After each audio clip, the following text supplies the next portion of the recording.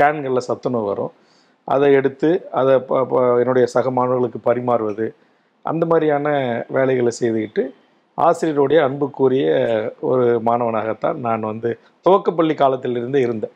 அதேமாரி எங்கள் பள்ளி வாசலில் வந்து சவுக்கு கொம்பு எடுத்துகிட்டு வந்து நல்லா சீவி அதுக்கு வந்து தேசிய கொடியை ஏற்றி சுற்றி கல் நட்டு எங்கள் வீடுகளில் பூக்கிற பூக்களை கொண்டு வந்து தேசிய கொடியில் வச்சு அங்கே சுற்றி பூக்களால் ஜோடித்து வந்தவொடனே ஆசிரியர்கள்லாம் இம்ப்ரெஸ் ஆகிடணும் அஹ், வேல்முருகன் வந்து ஆமாம் அப்படியே ரொம்ப நல்லா நானே பெருக்குவேன். நானே பெருக்கி ரொம்ப சுத்தபத்தமாக என்னுடைய பள்ளி வளாகத்தை நான் வச்சுப்பேன்.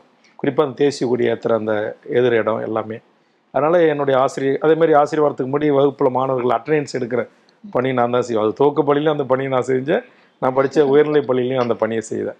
அதனால் இரண்டு பள்ளிகளையுமே வந்து ஆசிரியர்களுடைய அன்புக்குரிய ஒரு பாசத்திற்குரிய ஒரு மாணவனாகத்தான் நான் இருந்தேன்.